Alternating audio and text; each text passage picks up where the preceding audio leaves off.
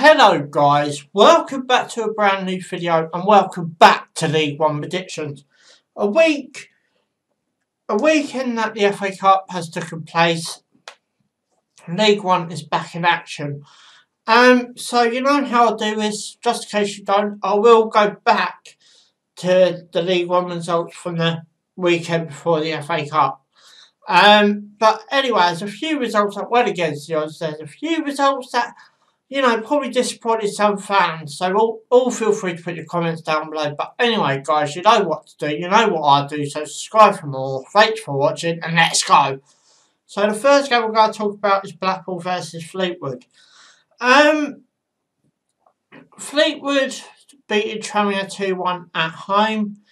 Um, it's very much, you know, expected result. Um, Blackpool 2-2 away to Ipswich. Um, you know, Blackpool in eighth position, Ipswich sitting in second. I was probably expecting a bit more of Ipswich, if I'm all honest with you. Um, but, you know, it's the way it goes sometimes. Um, but a very good point for uh, Blackpool. Um, this weekend, it goes 8th versus 7th. Um, a very much game that would definitely be, if one team wins, you'll be going up a place. If your team loses, you'll go down a place. This is like a very game that will change the table for next week. Um, but as far as this result goes, I'll go for a 2-2 scoreline for that one. My next one is Bolton versus Wimbledon. Uh, Wimbledon beating Gillingham 1-0 at home. Um, you know, very good three points for Wimbledon. Bolton loses 7-1 away to Accrington Stanley. I'm sorry, Bolton fans, that is not a misprint. I actually do remember, you know, that result happening um, when I was looking at the scores. Um, I'm very happy that Bolton points are in the plus. Um, now we're just literally 15 points away from safety, so about four wins away. I believe in Bolton will, could and will do that. Um, I don't know anything more about Bolton. supposed to be to, deducted more points. And um, I tried to trace it up. I can't find anything else all the stats I'm looking at still got the points plus. So whether that was, uh, you know, a bit of speculation by a certain thing, I don't know. But as it stands, as I'm doing this, you're in the plus. So hopefully, three points for you this weekend. I'm going up against a very good Wimbledon side who are currently in 19th, a team that Bolton is chasing down.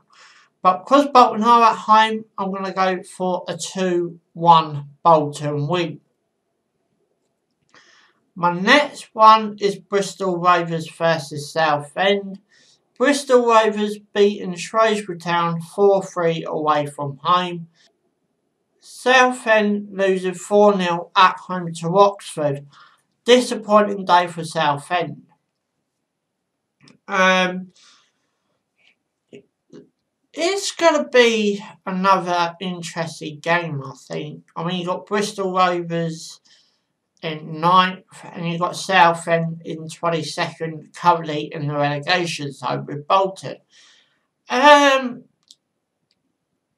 I find this interesting because a result on the Bristol Rovers end could put them well in the, the playoffs as this busy Christmas period kicks off. Southend win it, they could start looking towards survival. But as far as this result goes, I'll go for a 3 0 Bristol Rovers win. My next one is Burton Albion versus Lincoln City. Burton Albion losing 1 0 away from home to Peterborough. And I don't think Lincoln had a game supposed to play Bury, I'm assuming. Um, so we've only got that Burton Albion result to talk about. Disappointing day for Burton Albion, but as far as this game goes, as the table stands, Lincoln in 18th, Burton Albion in 14th. I'm going to go for a 1-all scoreline for that one. My next one is Coventry City versus Ipswich. Ipswich drawing Blackpool 2-2 at home. Um, Coventry 1-1 away to Sunderland. Um, a good point for Coventry. Um, you know, away to Sunderland. Um, Sunderland, uh, you know, had their expectations this season. Currently at 11th place, Sunderland are. So that's a very good point for Coventry. Um, Coventry have started to make St Andrews their home. That's why they're currently in 5th place. Um, Ipswich, um, 2-2 at, at home to Blackpool, sitting in second place. Um, five points off Wycombe Wanderers, who's top of the league. Um, but as far as this result goes, I'll go for I'll go for a 1-1 scoreline for that one. My next one is Doncaster Rovers versus MK Dons. MK Dons currently in 21st position. Um, and they lost to Rotherham 3 2 at home. Um, Doncaster losing to Wycombe Wanderers 1 0 away from home. Um, Wycombe Wanderers ain't got a game this weekend. Uh, both teams are going into this game with a defeat from the previous Two uh, results. I'm just trying to find. Don't. It's, it's going to be interesting again because MK Dons need to win to even put the pressure on the relegation zones.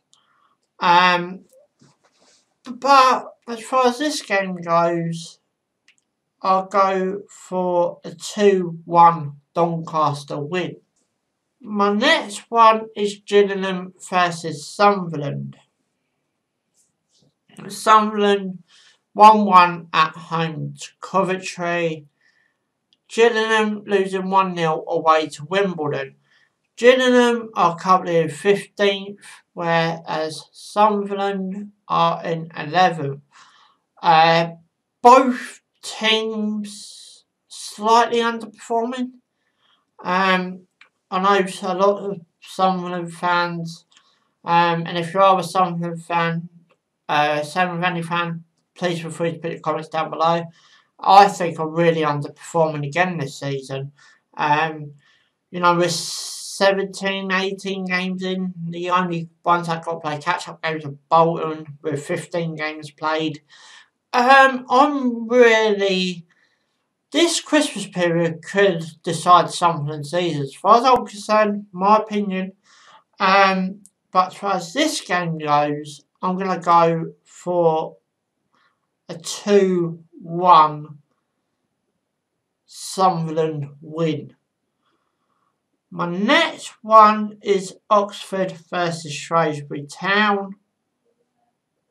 Um, Shrewsbury losing 4-3 at home to Bristol Rovers. Oxford beating Southend 4 0 away from home. Oxford, I'll be very surprised if they're not playing League One football next season. Um, I know only one team can go up for the playoffs.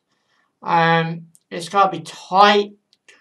I think possibly that um, Oxford could even make the top two if uh, Ipswich uh, don't start picking up again.